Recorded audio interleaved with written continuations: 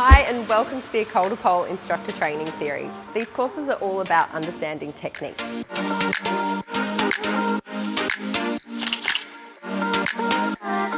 You're going to work on how to identify and correct this technique in your students so you can really see huge progress in their pole journey with safe and effective teaching methods. Roll through the spine. You can either take your hands under the pole and walk yourself down or straight back. nice and big this time with a straight leg, keeping that space so she's got space to rotate over. Prep exercises for your beginners. Engaging the muscle on the opposing side. She can literally lie back on me, do a de deux.